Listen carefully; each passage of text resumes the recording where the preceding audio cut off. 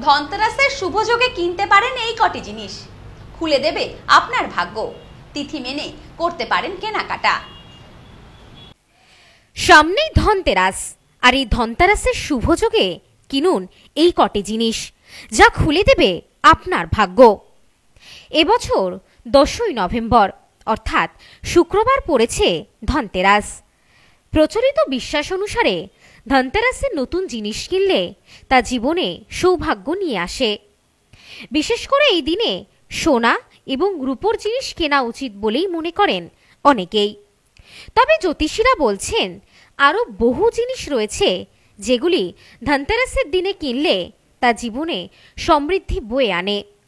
তবে ভুল করেও কিছু বস্তু মোটেও কেনা উচিত নয়। হিন্দু ধর্মে ধনতেরাস অন্যতম গুরুত্বপূর্ণ উৎসব।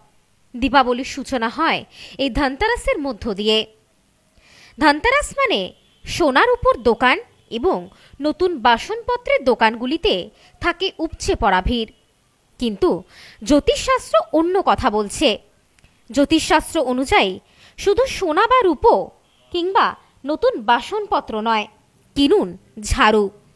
জ্যোতিষশাস্ত্র মতে ধনতেরাসের দিন ঝাড়ু কিনলে ঘরে অর্থের অভাব হবে না। পাশাপাশি এই দিনে দোকানে দাঁড়িয়ে থেকে গোটা ধনিয়া কেনা অত্যন্ত শুভ বলে মনে করা হয়। রান্নাঘরের এই মশলা, ধনিয়া, মা লক্ষ্মীকে এবং কুবেরকে নিবেদন করতে হবে। তাহলে জীবনে অর্থের কোনো সমস্যা থাকবে না বলেও মনে করা হয়। ধনতেরাসের দিন করি কেনা অত্যন্ত শুভ বলে মনে করা হয়। প্রাচীনকালে শ্বাস অর্থ হিসেবে ব্যবহৃত হতো। দীপাবলির দিনে দেবী লক্ষ্মী পুজোয় এই কড়িগুলি নিবেদন করলে দেবী লক্ষ্মী প্রসন্ন হন। তাহলে আর দেরি কেন? ধনতেরাসের শুভযোগে কিনে ফেলুন এই কটি জিনিস এবং জ্যোতিষশাস্ত্র মত অনুযায়ী খুলে যাবে আপনার ভাগ্য। পাশাপাশি জ্যোতিষশাস্ত্র অনুযায়ী এই ধনতেরাসের শুভযোগে দেবী লক্ষ্মীর আরাধনা করলে সংসারে আসে সুখ এবং সমৃদ্ধি।